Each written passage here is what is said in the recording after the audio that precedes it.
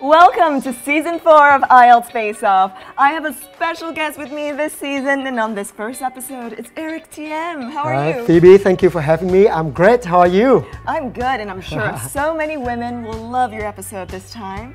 And I, I heard you have a surprise for me. Yeah, yeah, my high school buddy. Where are you, Michael? Who's your high school buddy? Yeah. What are you This guy showing? right What here. show now? This All is right. called abuse.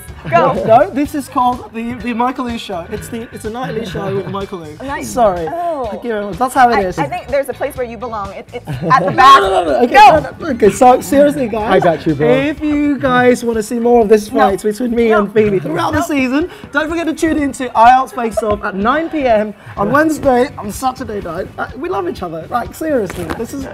Phoebe's just putting on a show. Uh, yeah, that's right. Okay, so catch you on IELTS Face Off, VTV7, 9 p.m. on Saturday night.